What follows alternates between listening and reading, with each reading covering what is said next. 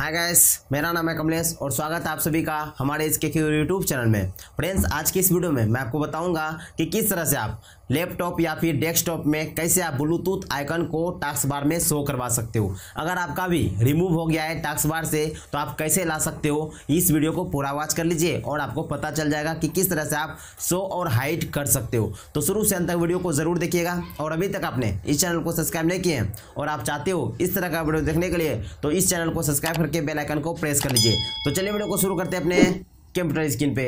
तो फाइनली मैं अपने कंप्यूटर स्क्रीन पे आ चुका हूँ और मैं एक लैपटॉप को कनेक्ट किया हूँ। मेरा फ्रेंड का कनेक्ट लैपटॉप है, जिसमें देखिए यहाँ पे ब्लूटूथ नहीं दिख रहा है। तो इसको हम कैसे यहाँ पे शो करेंगे, ये मैं आपको बताता हूँ। तो देखिए, सबसे पहले आपको करना क्या है? सबसे पहले यहाँ पे स्टार्ट बटन पे क्लिक करना है और यहाँ पे आपको टाइप करना है कंट्रोल पैनल तो यहाँ पे आप जैसे कंट्रोल पैनल टाइप करोगे तो आपके सामने कुछ इस तरह से आ जाएगा। तो आपको यहाँ पे सर्च बार में लिखना है ब्लूटूथ बी एल यू ऐसे ब्लूटूथ आप जैसे लिखोगे तो देखिए, यहाँ पे आपको आ जाता है डिवाइस एंड प्रिंटर में देखिए चेंज ब्लूटूथ सेटिंग तो आपको इस पर क्लिक कर देना है।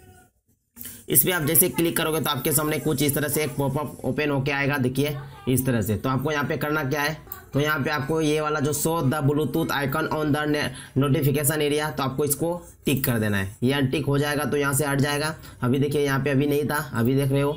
यहाँ पे अभी नहीं है, लेकिन यहाँ पे मैं जैसे अप्लाई करूँगा और ओके करूँगा तो देखिए यहाँ पे ब्लूटूथ आ जाएगा। तो इस तरह से आप यहाँ पे ब्लूटूथ अपने लैपटॉप में ला सकते हो। तो इस तरह से बहुत ही छोटा वीडियो था। तो ये वीडियो आपको कैसा लगा? नीचे कमेंट करके बताइए। अगर वीडियो पसंद आया तो वीडियो को लाइक कीजिए, अपने दोस्तों के साथ ज़्यादा से ज़्यादा शेयर कीजिए। और अभी तक आपने इस चैनल को सब्सक्राइब नहीं किए और आप चाहते हो इस तरह का वीडियो देखने के लिए तो चैनल को सब्सक्राइब करके बेल आइकन को प्रेस कर लीजिए। और अगर आप हमारे साथ जुड़े रहना चाहते हो तो हमारे सोशल मीडिया पे फॉलो कर सकते हो। लिंक आपको नीचे डिस्क्रिप्शन में मिल जाएगा। और मेरा एक वेबसाइट है, जिसमें मैं हिंदी आर्टिकल लिखता हूँ। अगर आप पढ़ना पसंद करते हो तो हमारे वेबसाइट पर आप विज़िट कर सकते हो। नाम है डब्ल्यू